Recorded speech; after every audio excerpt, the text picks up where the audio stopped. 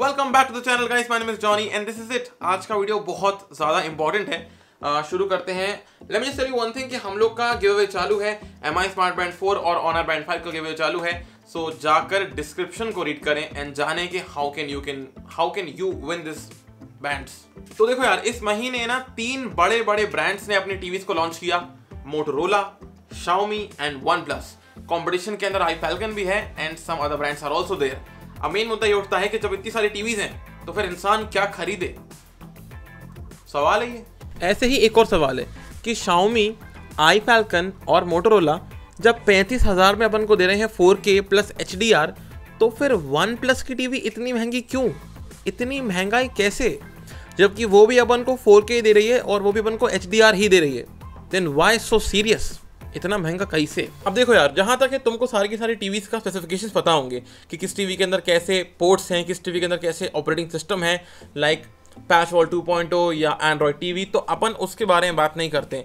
अपन चलते हैं सीधा मुद्दे की बात पे कि शाओमी की टीवी मोटरोला की टीवी आई फैल्कन की टीवीज की प्राइसिंग पैंतीस हज़ार क्यों है? एंड क्यों वन प्लस की टीवी की प्राइसिंग सत्तर हज़ार रुपये है?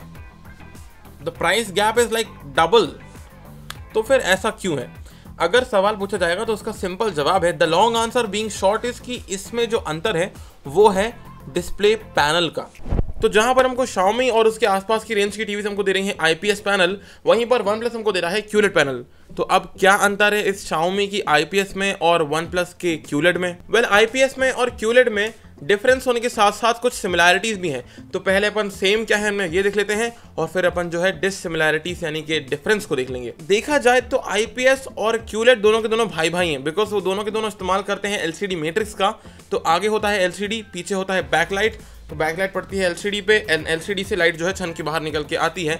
And then you see the colours अब मेन सवाल है कि भाई ठीक है, मान लेते हैं कि दोनों के दोनों एलसीडी का इस्तेमाल करते हैं, लेकिन still what is the major difference between IPS panel and the QLED panel तो उसको जानने के लिए अपन पहले फोकस करेंगे आईपीएस पैनल पे।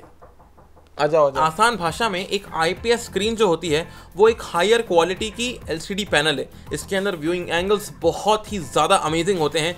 मतलब इसके जो व्यूइंग एंगल्स होते हैं, वो होते हैं 178 डिग्री के। मतलब ज़बरदस्त। सेकेंडली इसके अंदर जो कलर होता है, वो बहुत ही हायर क्वालिटी का होता है एंड कॉन्ट्रास्ट भी इसके अंदर बहुत अच्छा होता है। तो देखा जाए तो I P S is a very ideal display तो एक इन पैनल स्विचिंग वाली LCD is equals to IPS display बहुत अच्छी स्क्रीन बहुत बढ़िया।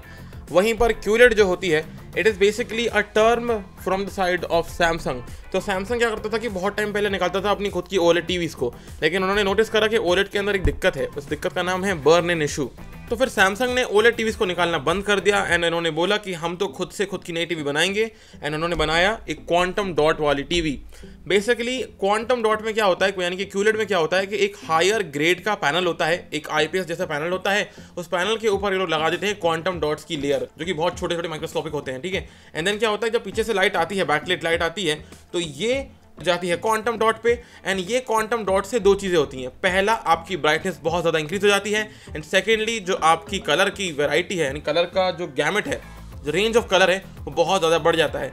नाउ बिकॉज़ ब्राइटनेस बढ़ गई है कलर बढ़ गए हैं दैट्स द रीज़न वाई इस पर्टिकुलर क्यूलेट के अंदर एचडीआर का इम्प्लीमेंटेशन बहुत ज़्यादा आसान हो जाता है। तो मतलब if you want to play H D R in a QLED it is very easy for them to implement it आसान है उनके लिए एच डी आर को दिखाना।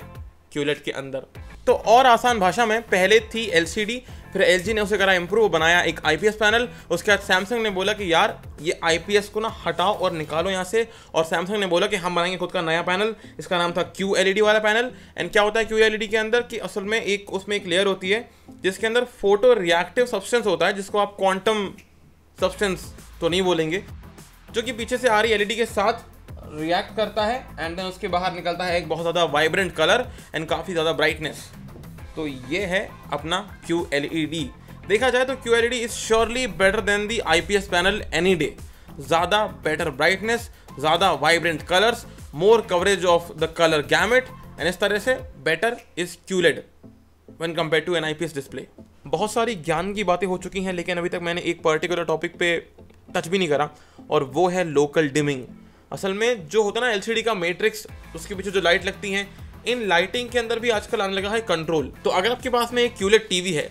एंड आपकी स्क्रीन के ऊपर आधी स्क्रीन में अंधेरा है, आधी स्क्रीन में उजेला है तो पीछे की जो लाइट होती है ना लाइट यानी कि एलईडी पैनल जो होता है, जो पीछे से लाइट मार रहा होता है डी एलईडी पैनल उसमें ब्लैक वाले एरिया के अंदर पीछे की जो लाइटिंग है, वो अपने आप को डिम कर लेंगे, यानी कि मद्दा कर लेंगे. इसको बन बोलते हैं local dimming although local dimming का जो फीचर है, वो शाउमी के अंदर भी है, और अपने वन प्लस के अंदर भी है। स्टिल आई वुड से कि जो लोकल डिमिंग का फीचर है, ये ज़्यादा इंपैक्टफुल रहेगा इन द वन प्लस की क्यू एल क्योंकि क्यू एल जो होती है, वो ज़्यादा ब्राइटर होती है when compare to a normal I P screen तो इस वजह से क्यूलेट के अंदर implementation of the local dimming can lead to a better quality का आर एक्सपीरियंस तो अगर आपको बेटर आर एक्सपीरियंस करना हो with a very bright screen there is no doubt about it कि क्यूलेड एक सुपीरियर पैनल है यहाँ पर। ओके okay, तो मेरा क्या मानना है कंक्लूजन के लिए? तो मेरा मानना है कि यार किसी का अगर बजट फॉल करता है यानी thirty thousand rupees thirty five thousand rupees forty thousand rupees या थोड़ा सा उससे कम तो उनके लिए शाउमी की टीवीज काफ़ी बेहतरीन रहेंगी and even the competitors like Motorola Motorola and competitors like iFalcon can be a good option too. Although I personally feel inclined towards Xiaomi तो ये अपना सीन है इस थर्टी थाउज़ेंड फोर्टी थाउज़ेंड के प्राइस रेंज के आसपास का। And वहीं पर what do I feel about OnePlus तो दो चीज़ जो मैं फील करता हूँ नंबर एक की चीज़ ये है कि Q1 Pro महँगी है, ये मैं फील करता हूँ। एंड जो Q1 है, वो बहुत अच्छी टीवी है। And comparing that Q1 towards the Samsung की डिस्प्लेस आई वुड से कि यार जब सैमसंग का पैनल लगा ही हुआ है इसके अंदर तो फिर सैमसंग को ना लेके ये ले लूँगा। आई अंडरस्टैंड कि थोड़ा सा रहता है अंदर जो जो अंदर प्रोसेसर रहता है, वो उसमें डिफरेंट होगा, यहाँ डिफरेंट है। लेकिन the display quality the display panel is definitely going to be the same one as you get in the Samsung का displays around at the price point of near डेढ़ लाख रुपए या एक लाख दस हज़ार रुपये एक लाख बीस हज़ार रुपये तो मेरा ऐसा मानना है कि सत्तर हज़ार की वन प्लस लें वो बेटर वैल्यू फॉर मनी हो जाएगी फॉर श्योर sure. फिर भी अगर कोई ये पूछ लेता है कि भाई शाओमी की टीवी लें या वन प्लस की टीवी लें तो जवाब है कि दोनों टीवियाँ एक दूसरे से कम्पीट करती ही नहीं है। तो उसका मार्केट अलग है वन प्लस का और शाओमी का मार्केट एकदम अलग है। तो please take care guys bye bye दिल दिल हिंदुस्तान. शानदार, ज़बरदस्त, जिंदाबाद. एंड मिलते हैं in the next one peace out कोई और डाउट हो तो please comment down below subscribe करो. कॉमेंट डाउन बिलो करो. And also description description read करो. वो इंपॉर्टेंट भी है. बाय